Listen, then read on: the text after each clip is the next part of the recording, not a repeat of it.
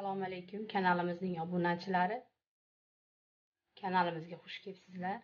Bugun sizlarga uy sharoitida mayda montilarni tayyorlashni ko'rsatib o'tmoqchimiz. Buning uchun bizga 600 gramm un 325 gramm suv hamda kichkina qoshiqda yarim qoshiqdan ozgina ko'proq tuz kerak bo'ladi. Biz buni aralashtirib oldik. Endi hammasini suvimizni quyib uni aralashtirib olamiz. Xamir qoraymiz. To'rt besh daqiqa davomida yaxshilab ushlab olamiz va tindirgani olib qo'yamiz o'n besh yigirma minutga. Xamirimiz tinguncha biz kartoshkani archib qaynatib olishimiz kerak.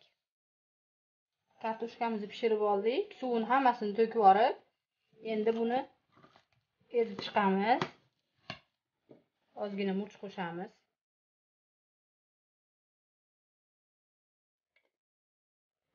Uyda masla bo'lsa sливочный masla bundan ham qo'shib yuborsangiz bo'ladi ozroq agar masla bo'lmasa o'simlik yog'idan qo'shsa ham bo'ladi.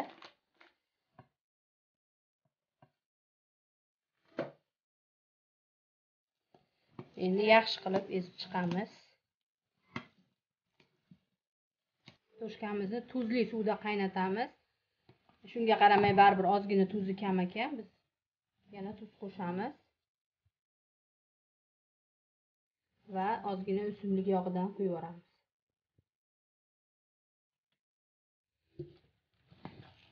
yaxshilab ezib